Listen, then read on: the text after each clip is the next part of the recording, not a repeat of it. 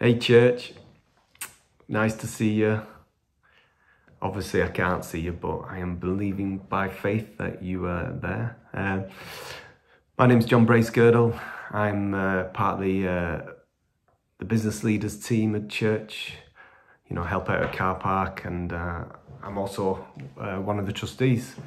Anyway, my uh, my verse for, for the devotion today is Psalm 105 um, you know, take some time and, and, read it. But it's it's it's just all about Joseph. Um, Joseph, he, he he struggled. He got a he got a dream from God in the beginning, and uh, you know, then he told his brothers.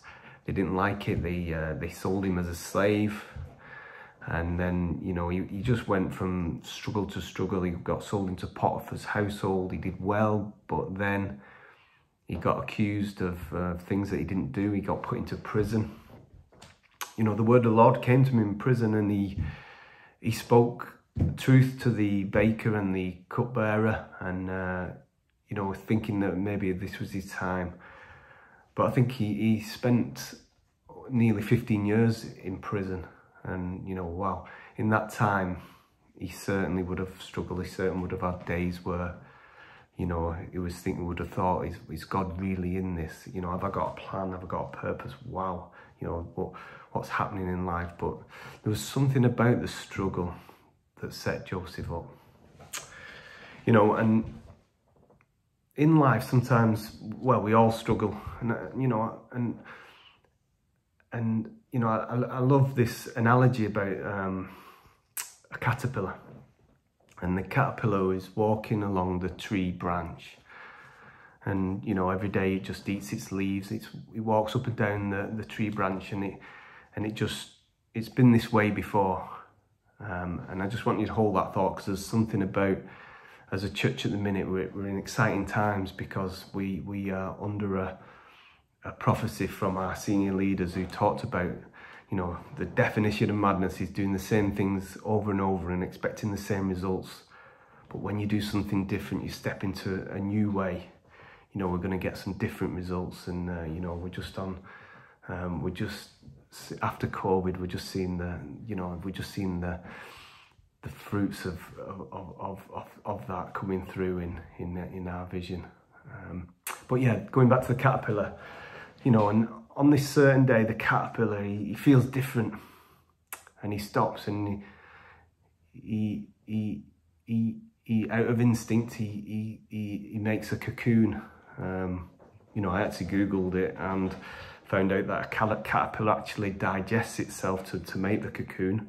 But this is not a biology lesson, it's a devotional. So, and um, you know, he goes into this cocoon, but in the cocoon, what happens is he, he finds himself trapped. He's imprisoned. And, uh, you know, he's, he's, he's, he's actually stuck, but there's a change going on. He can feel himself change. It's metamorphosis, and he actually changes and um, he, he probably can feel himself grow and develop. And a period of time passes and it's it's about two days and uh, he starts to feel stronger. He starts to be able to move and he shuffle and he he realizes he's he's he's actually got he's got wings he's changed he's he starts to to to to to move his wings and he starts to to flap his wings and it's in that struggle that the cocoon opens up, the cocoon breaks free and it's in the struggle that the the blood actually flows to the wings and actually gives its wings its strength. And as he opens up and pulls himself out of that cocoon, he's now free to fly and soar. He's, he's, he can now go on a new journey, he's going a new way. And now he's, he's, he's able to actually reach the things that he's only ever dreamed of.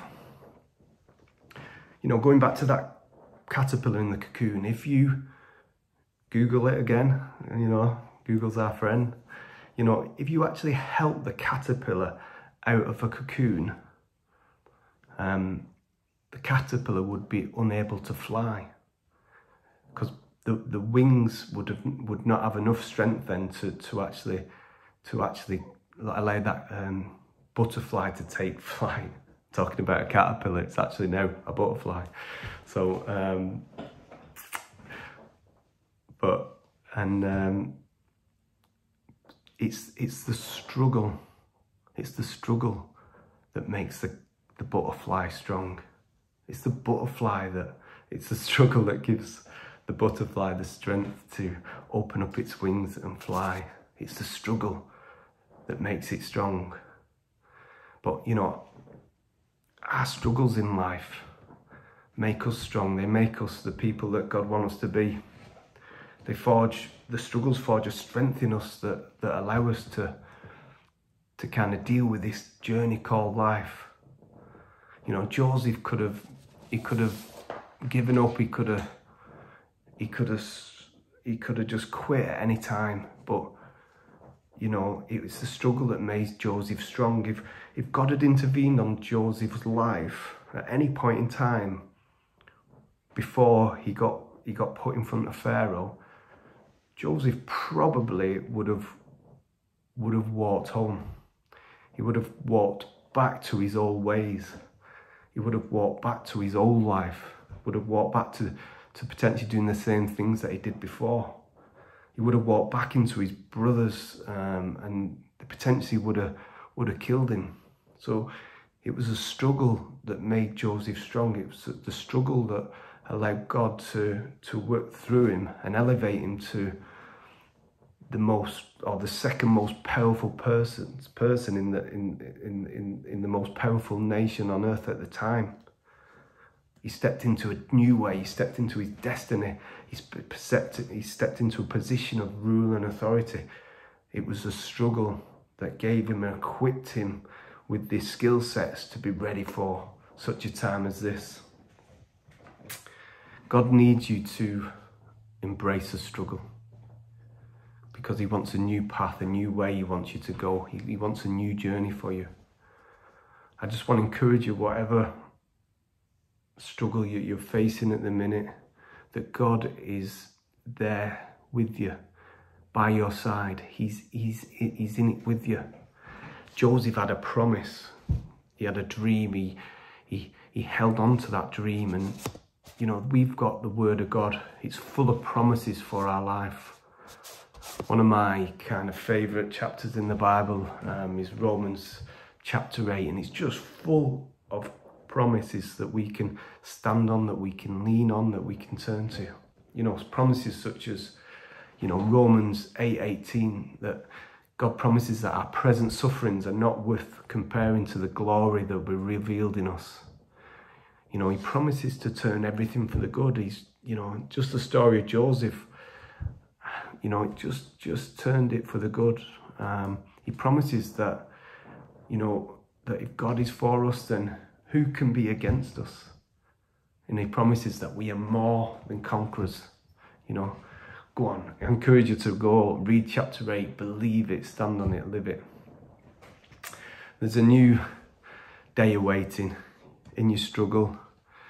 You know, God wants you to to to grow and he wants you to break free and he wants you to soar you know, going back to the, the prophecy over our church of, of going a new way, of doing a new thing. And, you know, as a church, COVID's been a struggle. It's imprisoned and it's locked us down and it's, and it's, you know, it, it, it's kind of disabled us. But in that struggle, our church has been changing.